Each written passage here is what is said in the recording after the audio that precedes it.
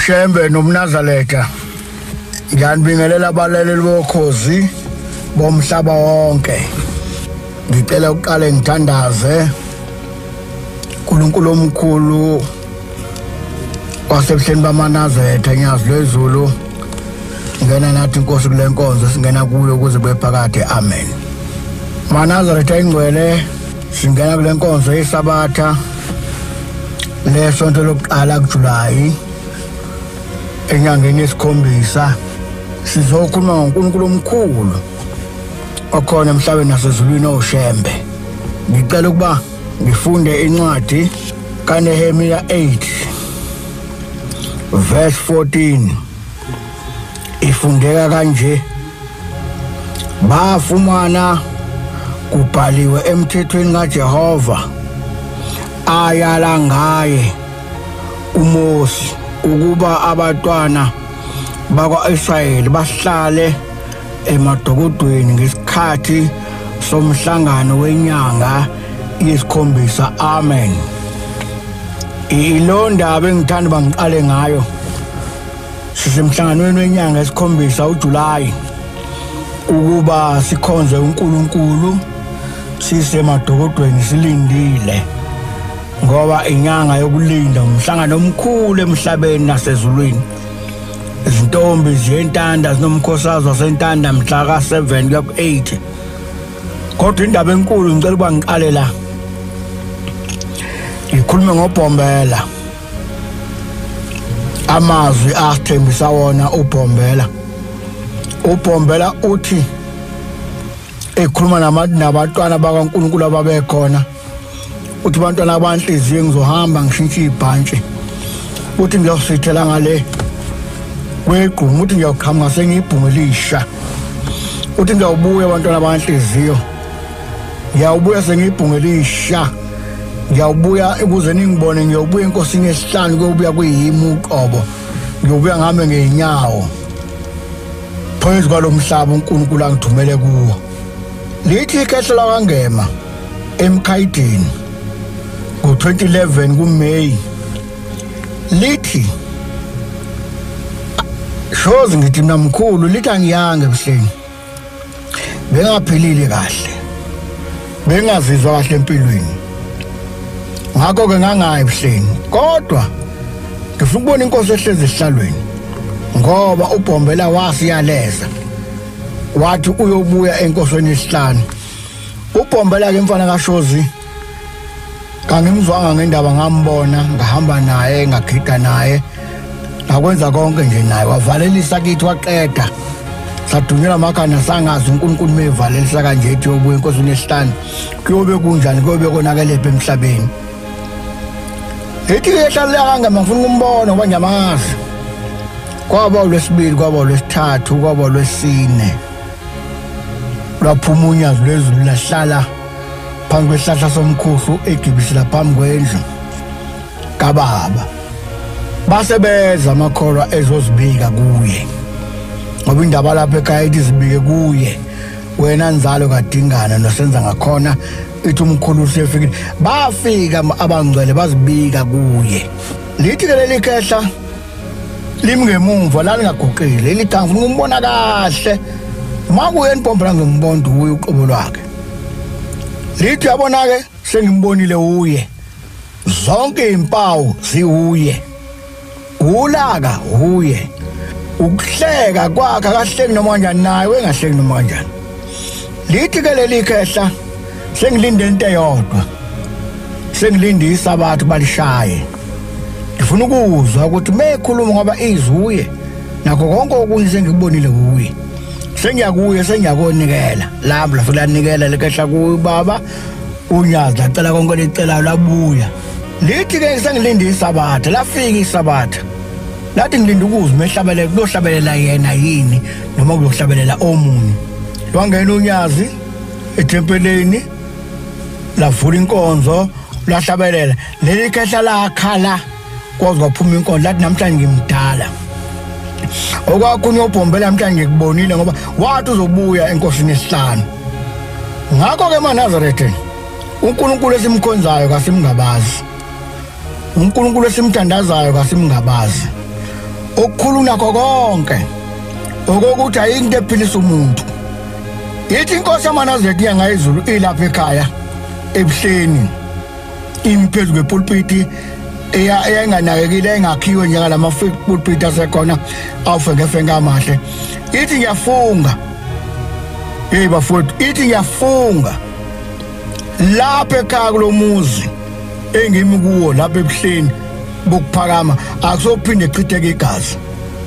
Futhi lapha ekhaya akekho yophinde athi uyazi lapha ekhaya. Lapha ekhaya akekho oyophinde achithe igazi funa ngeke niphinde nilwe nibanga ubunazaretha lokho enikwenze kuphakameni kumne wethu nikwenzile kwenele ngeke kuphinde kuliwe emhlabeni kubangwa ubunazaretha inyanga yezulu isho lapha ekhaya ebuhleni. Sihlezi nonyazi sinethezekile siyayibona izinto ezinhle amakhosi abusa izizwe zonke zomhlaba sikanye nawo.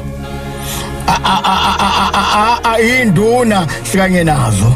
Abafundisi sikanye nazo sikanye nabo. Amakholwa nje onke athanda ukuze ebuhleni kuvulelekile ebuhleni ayeza afika athi unyazi luNkulunkulu emhlabeni nasezulwini.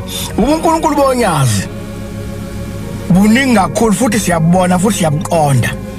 ubuNkulunkulu bonyazi buhle kakhulu empilweni zethu. Inkinga enkulu iba senhlizweni yomuntu. Ukuthi inhliziyo yakhe iyavuma yini ukukhonza unyazi edokodweni lakhe? Ngoba ithi indaba esifunda apha phansi ingenyanga esikhombisa uNkulunkulu uMose wafumana umthetho ubhaliwe ukuthi abantwana bakwaIsrayeli bayohlala emadokodweni bakhonze ngenyanga esikhombisa. Sihlasi khona sikhonza uNkulunkulu futhi siyamuzwa futhi siyezwa nomhambo ukuthi uhamba noNkulunkulu ophilayo uhamba nonyazi lwezulu. Ngelinye ilanga ngolunye usuku. Inkosi yamanazethu la ngaphuma sikodwa nabalothela abahangula uma uphalala ngoba basinda basengozini umanda sithebeno njengensonyama ingene eparadesi ekuphakameni kujulayi. Ingena kuhlaza ijuba labaphezulu kwesihlahla esimaqondana naso. Iyathandaza. Ijuba liyakhala phezulu lithi yathi mayithi amen. Isiqeda ukuthandaza yaphenduka yabuka ijuba. Yayisithi kuleli ijuba inyoni. Yasithi yabona wena ngithe kuwe ize esontweni. Angishongo kuwe ukuthi iza lapha esontweni uzongifundekela mawenza nje ngokuxosha esontweni. Lathula ijuba ma-afrika amahle lathula uduba mazulu akithi lathula ijuba lathula laphethuka amaqubu. Lathula ilanga laphatha inkonzo laze layiqeda. Layiqeda ilanga inkonzo liyiphethe ijuba lithule linganyakazi akuphindanga lakhala kwazi kwathiwa amen kwaphela inkonzo yesabatha ijuba lithule yilo uNkulunkulu esikhuluma ngayo. Yilo uNkulunkulu esingaxoxa ngayo indaba. Yilo uNkulunkulu esikhuluma ngayo akalungeli uNkulunkulu lithi ilanga ngelanga phakathi komuzi wasekubameni lithi alungeli uNkulunkulu ohlala ezulwini ayeka abantu bahlale bodwa emhlabeni. Ubasiza ngani abantu uNkulunkulu ohlala ezulwini abantu behleze emhlabeni na? Ngolunye usuku kuyafunakala uzifune uwedwa. Ukuthi kambe inkosi inhliziyo yami iyavuma ukukulandela kambe inkosi yami inhliziyo iyavuma ukukuthanda kambe inkosi yami inhliziyo iyavuma ukuthanda umakhelwane? Kambe inkosi yami inhliziyo iyavuma ukuthanda ingane yami engizalayo ilonke ingofuna luyibheke uyifune uyifunisise uyibuze ukuthi kambe inkosi mina ngingakuphi uma kunje? uNkulunkulu esimkhonzayo muhle.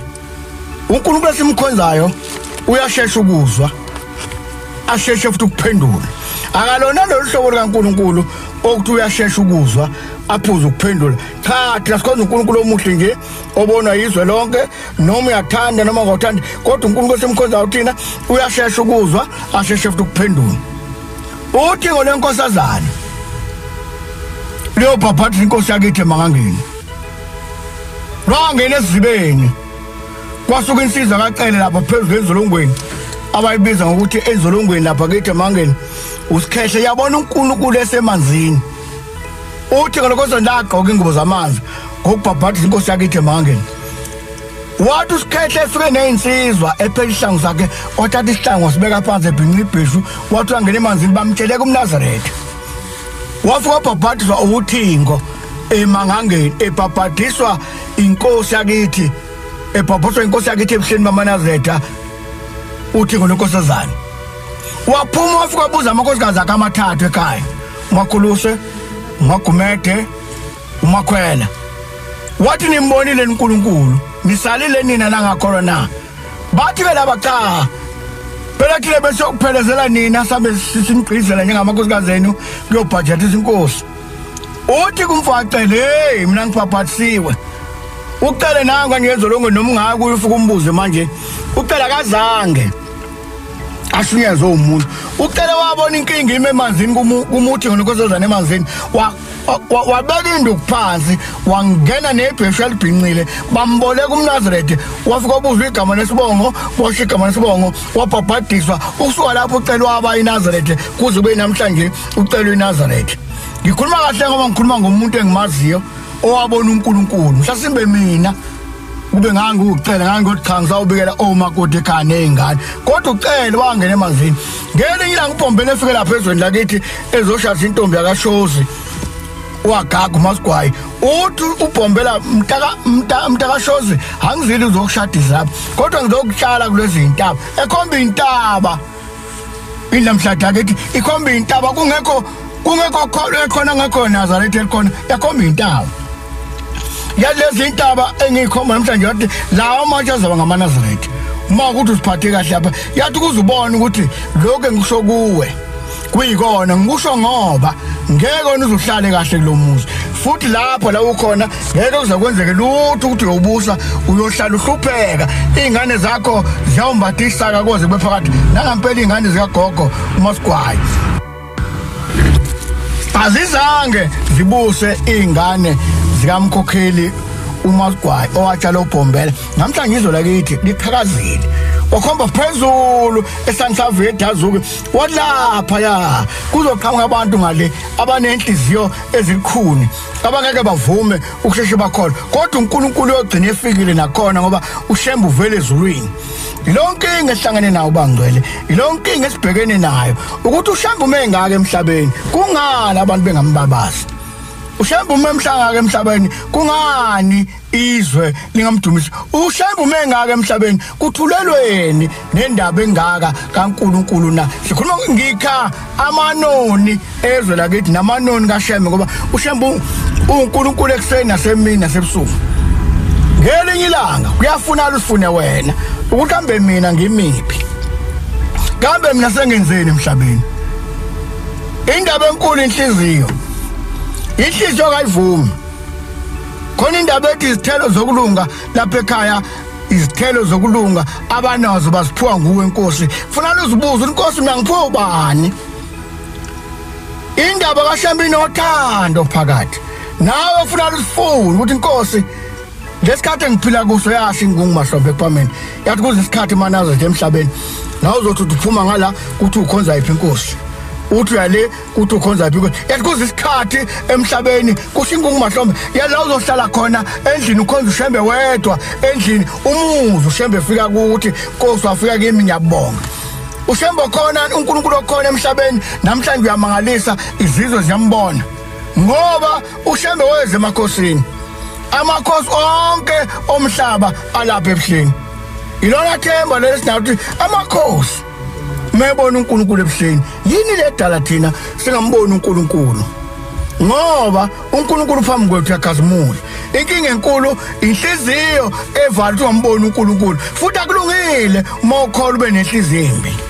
Njengoba kuJulayi nje senze sikwenza konke okwenziwa ngenyanga esikhombisa. Asizidli izinto eziningi sizilile sizilele uJulayi. Nokuhamba kwethu sihamba ngendlela kaJulayi. Nokwenza kwethu senza ngendlela kaJulayi. Nokuthandaza kwethu sithandaza ngendlela kaJulayi. Kodwa uNkulunkulu asipha umoya ehlisele kethu umoya asiphilise simbona noma singamboni siseduze noma sikude. Kodwa uNkulunkulu asiphilise asakhe aqinise ihlalo ehlezi amakhosi aphethe umhlaba. uNkulunkulu okhona ebuhleni uyamangalisa. uNkulunkulu okhona ebuhleni uyifa lethu sonke emhlabeni. Umuntu nomuntu akasifuni ukuthi inkosi la ngikhona uyangibona yini? Inkosi la ngikhona ngikhona nikujulayi. Noma nkosi kanti ukuthanda kwami noma nakayiqoqe kule nyanga alinde bese bona umvuzo azohola ekupheleni komhlangano noma ekupheleni kwenyanga kaJulayi. Nkosi engcwele vusa abasemathuneni. Ubenze inkosi bezwe bawulandele uphamisa igama lonyaza emhlabeni. Lidume inkosi ngaphezulu kwento zonke ezikhona emhlabeni. Siyakubonga nkosi siswele zokubonga ngoshembo yenkosi noNkulunkulu akabusise abalalele nabalaleli nabaphathi bokhozi ababusise ngonyazo lezulu kuze bephakathi ngalenhlanhla yesabathe. Amen.